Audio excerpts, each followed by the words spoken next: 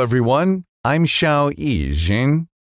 Today we'll be learning about the basic principles and applications of ASON. So what is ASON?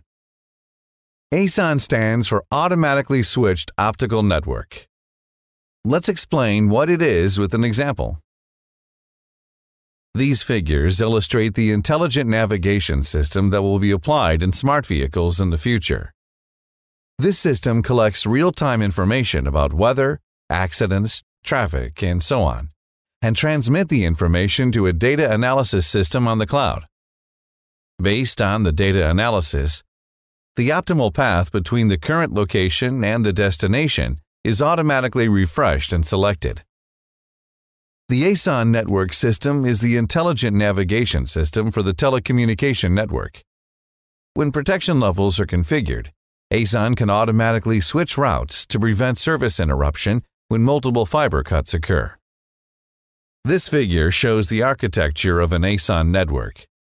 We can see that an intermediate control plane is added to the traditional network architecture, which enables automatic switchover control and automatic service protection and recovery by selecting network service routes using CCI. Before we can proceed further, we must understand a few concepts of ASON.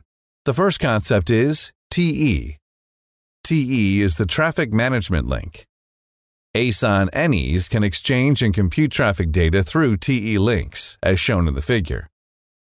TE links of optical layer ASON are carried over optical layer overheads, and TE links of electrical layer ASON are carried over electrical layer overheads. The second concept is control link. Control links implement automatic discovery and maintenance of OSPF links between two NEs using the OSPF protocol. In this manner, OSPF control link information is spread over the entire network. Each NE obtains their desired information and performs the corresponding operations. The third concept is Shared Risk Link Group. As shown in the figure, when fiber cuts or other faults occur on an optical fiber due to external factors, the other optical fibers in the same optical cable may be under the same risks as well. These optical fibers can be configured as an SRLG during route optical fiber configuration. Now that we understand TEs, control links, and SRLGs, let's have a look at the five SLA levels provided by ASON based on different service requirements. As shown in the figure, the SLA offers increasingly stronger service protection from Level 5 to Level 1. Level 5 offers no protection. Level 4 offers rerouting and resistance to multiple fiber cuts. Level 3 offers 1 plus 1 protection, which can resist multiple fiber cuts. The fault recovery time for the first fiber cut is less than 50 milliseconds. Level 2 offers rerouting 1 plus 1 protection, which can resist multiple fiber cuts. The fault recovery time for the first fiber cut is less than 50 milliseconds, and the fault recovery time varies for subsequent fiber cuts. Level 1 offers the strongest protection, Diamond Permanent 1 plus 1 protection, which can resist multiple fiber cuts and has the shortest fault recovery time. Now let's have an in-depth look at the five SLA levels. Level 1 offers Diamond Permanent 1 plus 1 protection. As shown in the figure, when either the working path or the protection path is unavailable, the rerouting function will lock a new lower-level protection path. This way, the service can be restored within 50 milliseconds for the first and subsequent faults. When resources are available, Level 1 offers resistance to multiple fiber cuts and high-quality multiple-level protection. The resource change is visualized on the NMS, and the reliability is 99.999%, making it suitable for the protection of high-demand services such as voice and VIP. Level 2 offers diamond rerouting 1 plus 1 protection.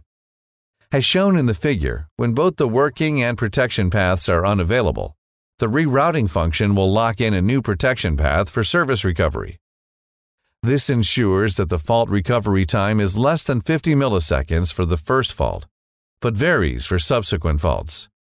Because the follow-up protection does not have pre-locked protection paths. When resources are available, Level 2 offers resistance to multiple fiber cuts for multiple level protection. Level 3 offers Diamond 1 plus 1 protection. As shown in the figure, it offers only one-off protection, which is 1 plus 1 protection. This means that when a fault occurs, it can be recovered only once, with service recovery time of less than 50 milliseconds. Resources are visualized on the NMS. Level 4 offers Silver rerouting protection. As shown in the figure, when a fault occurs, the service will try to reroute until the service is recovered. This level of protection can also resist multiple fiber cuts. When limited resources are available, Level 4 offers resistance to multiple fiber cuts and multiple level protection, but the fault recovery time varies. Level 5 offers no protection and is also called copper services. Once a fault occurs, the services will be interrupted without rerouting. ASON supports multiple routing policies on the NMS. ASON also supports service path optimization, preset rerouting, and rerouting reversion. Services can switch back to the original path after a service fault is fixed. Now let's look at actual network models to figure out how service protection and recovery are implemented. Here are two models. The model on the left has two silver services. For Silver Service A, the service path will be rerouted to that of Silver Service B when a fault occurs. When another fault occurs on Silver Service B, the service paths of both Silver Services A and B will be rerouted to the idle path in the middle. Similarly, the model on the right has a Silver Service B. It can resist multiple fiber cuts, and its services can still be restored by rerouting after multiple fiber cuts have occurred. The protection mechanism is individually deployed for each service with restricted protection and recovery time to ensure that more services can be successfully recovered after multiple fiber cuts. ASON also provides various recovery strategies, such as shared resources for the working and protection paths, additional service routing paths, and intermediate regeneration boards that can change wavelengths to avoid wavelength conflicts.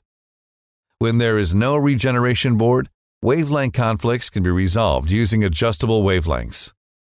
This provides stronger service recovery capabilities. After the protection and recovery mechanism of ASON networks, we can now have a look at the types of ASON networks.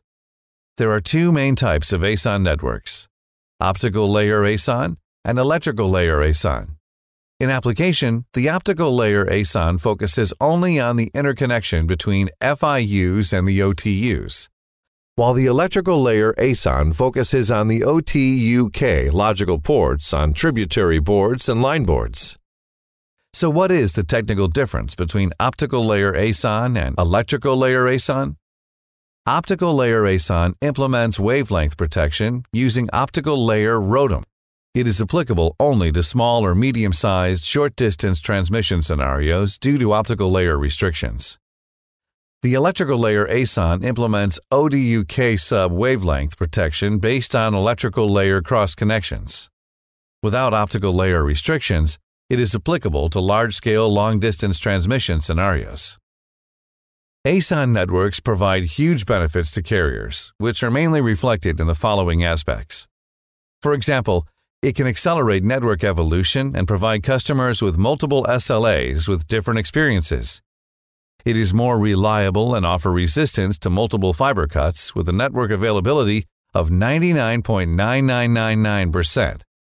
And it offers carrier simplified network O&M, reduced OPEX, automatic protection and recovery, flexible expansion, and greatly reduces O&M time. Up to the fourth quarter of 2015, Huawei has more than 250 optical layer and electrical layer ASON networks, serving 50 global carriers. The earliest ASON network has been in commercial use for more than eight years.